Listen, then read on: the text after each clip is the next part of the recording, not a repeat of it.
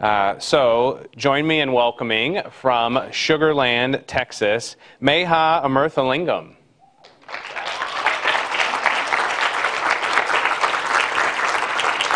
How are you, dear? I'm great. How are you? I'm wonderful. This is yours. Have fun. Thank you. Good afternoon. My name is Mehaa Amirthalingam, and my mentor is Dr. Hansen. Water scarcity is a fast-growing issue across the world. As you can see the dark colored section of this map, nearly half of the world faces water-related issues every day. Unless we make minor adjustments in the way we utilize water, we may have to make huge compromises in the future. Here is a simple illustration of how gray water can be reused and collected in toilets. Water from sinks and showers can be filtered, stored, and reused in toilets. Other examples of gray water includes water from washing machines and dishwashers. In this project, I have developed a new toilet flushing system called ARIA that has several additional parts compared to the traditional toilet flushing system. I drilled a second opening in the toilet tank to install a gray water fill valve similar to the freshwater fill valve. In addition, ARIA has a small tank around the freshwater float as well as a drain valve and a float. This float opens and closes this drain valve. I do not have a gray water storage system in my house, but there are many commercial products available in the market for collecting and storing gray water. To focus on the development of a new toilet flushing system, I simulated the gray water by using the fresh water from a faucet in my bathroom. My hypothesis is that if the gray water flow can be used to stop the fresh water, then the freshwater savings will be very high. Here is an animation of how my system worked for testing my hypothesis. As soon as the gray water fills a small tank, the fresh water stops, and the gray water overflows from the small tank into the main tank, and eventually stops the gray water by the action of the gray water float on the gray water fill valve. If the gray water is unavailable, then my system will work with the fresh water alone. In this case, the fresh water will fill the main tank first, and then it will overflow into the small tank to stop the fresh water. After I verified my hypothesis in a qualitative manner using my first prototype of ARIA, I simulated and developed theoretical models to study my system in a quantitative basis. My theoretical models includes three equations. One for the material balance of the water in the small tank, two for the material balance of the water in the main tank, and three, Bernoulli's equation relating the water level in the small tank and the draining flow rate.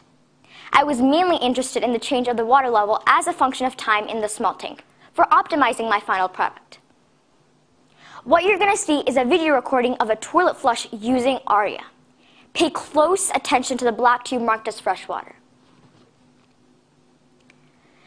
As you can see, the gray water rushes into the small tank, but there is no fresh water coming out of the freshwater tube. By lifting the float when flushing, the drain valve closes, which results in 100% fresh water savings. This was one of the biggest accidental discoveries in my entire project. My initial prototype was a big failure because I underestimated the power of water as there were many leaks in the system as I tested it even before I installed it in the toilet. Although I had two other successful prototypes, I call my most efficient prototype ARIA. My initial prototypes were not designed for maintenance and were only created for testing my hypothesis. But in ARIA, I took the advice from a panel of water experts from 3M, and based on their suggestions, I developed my product, and they also suggested me to use commonly available and used toilet materials and plumbing materials to use in my product. Now ARIA can be completely dismantled to replace any part if needed. The 3M materials that I used in my products were the 3M marine glue, the 3M silicone sealant, and the 3M metal weld, as well as a 3M squeeze bottle that Dr. Hansen had sent me. This plot was, this plot was created to find the minimum gray water flow required for 100% freshwater savings. The gray water flow rate that keeps the minimum point above 1.5 inches is the minimum gray water flow rate. This 1.5 inches is half the height of the small tank. I tested all my prototypes for the minimum gray water flow required, and here are the results. The minimum gray water flow required for ARIA is 2.1 gallons per minute, which can be easily acquired and achieved from an overhead tank. In the near future, I plan on requesting fundings and contacting water conservation agencies and re requesting fundings and meeting up with toilet system manufacturers for a mass production of my product. I also plan on meeting up with um, collaborating with 3M to create a create and package ARIA with a new filter and systems manufactured by 3M to offer a turnkey solution for recycling water. I would like to thank everyone, especially 3M and Discovery Education and Dr. Hansen for their invaluable support and guidance. Thank you.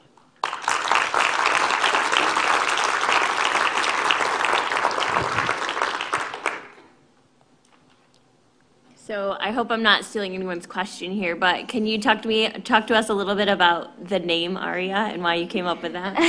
Thanks, that was a good question.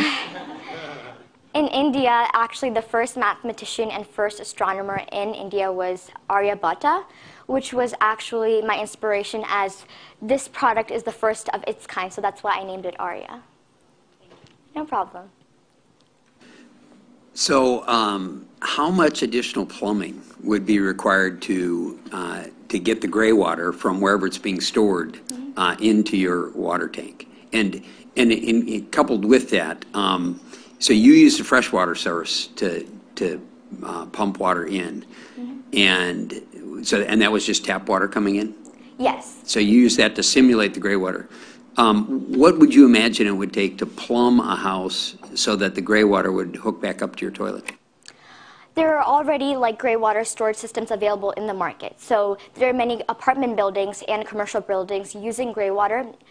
Mainly not in the United States, but in places like India, there are apartment buildings that already have gr- gray water storage systems and model homes and stuff like that.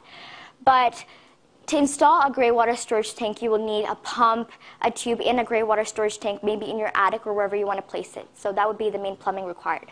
But for my system, you would only need an additional hole in the toilet tank. No problem.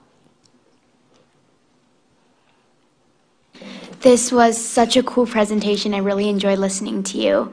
Um, can you, do you know if there could be any other potential applications for a system like this? Can you rephrase that question? Yeah.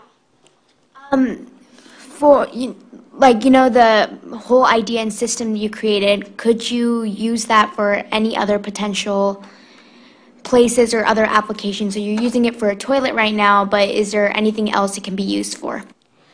My system was specifically made for a toilet, as there's a gray water valve and a fresh water valve. And people are already second thinking using gray water in toilets, and I don't think selling out um, or using products or gray water storage systems in other places like showers would be really useful and people would really want to do that. Or in sinks, like you're washing your hands, you're not, you're not putting more um, stuff into your hands to make it um, dirty, right? So mine is specifically for toilets because 20, nearly 25% of domestic household use is used in toilets, and that's a waste of water as people in Cape Town can only ever imagine for having that kind of water. So that's why I focused on using gray water in toilets. Thank you very much. It was wonderful. you. I really enjoyed listening to your, to your presentation. I'm wondering about um, keeping the toilet clean. So if you're going to do a mixture of fresh water and gray water, and the gray water's, for example, coming from the shower, that's going to have all the soap scum and stuff from the shower. So what do you, what do you imagine doing um, to make sure that I don't have to clean my toilet all the time? Um, I plan on like um, creating or adding filters before it goes into the gray water storage tank because this product is very sensitive to high, like huge particulates and soaps.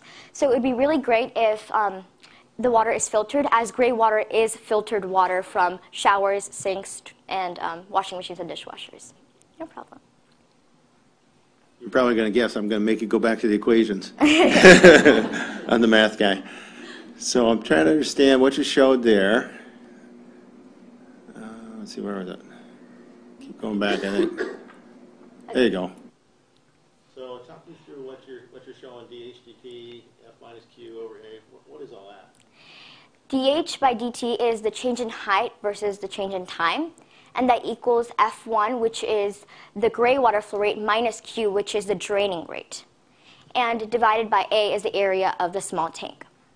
And for the main tank, dH by dt is a change in the water level over the change of the function of time.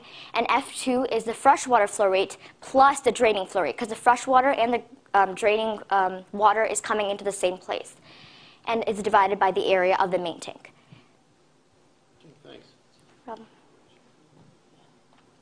You've mentioned that there are some reservations about currently available gray water reusage.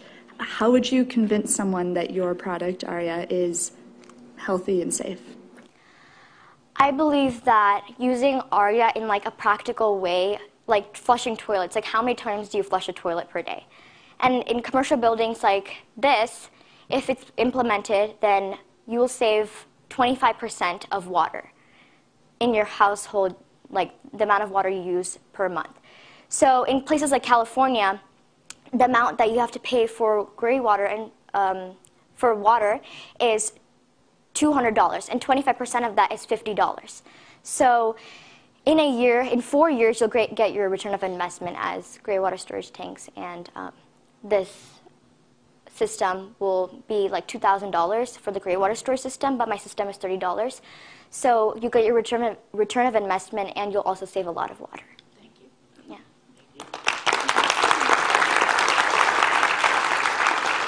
Thank you. You did a great job. Thank you. I love the questions too about the names, right? I like that's really clever. Just a suggestion for future innovations, like Lance would be a good name. nice job. Another round of Thank you. applause.